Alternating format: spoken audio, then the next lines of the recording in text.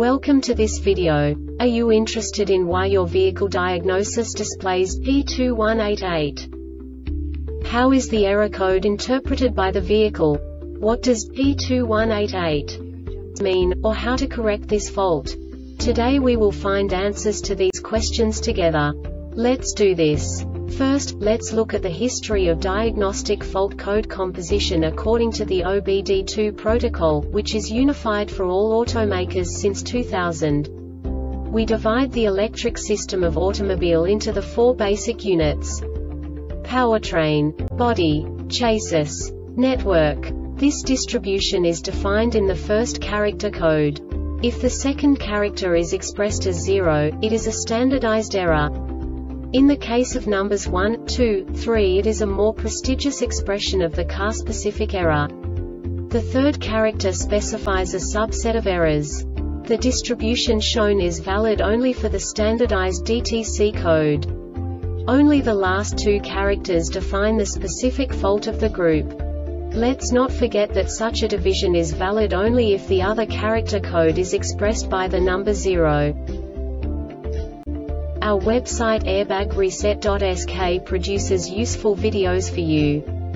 You do not have to go through the OBD2 protocol anymore to know how to troubleshoot any car breakdown. You will find all the diagnostic codes that can be diagnosed in a Mazda vehicles. Also many other useful things. The following demonstration will help you look into the world of software for car control units. You unbelievably can move the video a bit further. The error code is split into two bytes consisting of 16 bits. One bit is the basic unit that each computer works with. The bit has two logical states.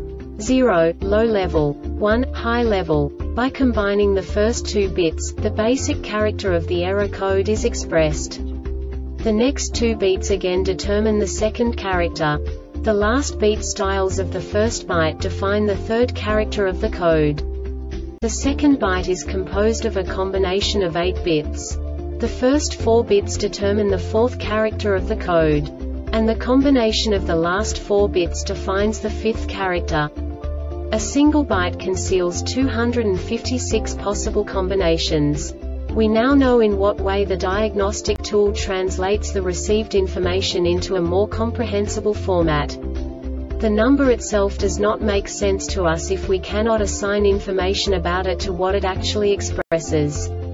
So, what does the diagnostic trouble code P2188 interpret specifically Mazda car manufacturers? The basic definition is device voltage low EBCM.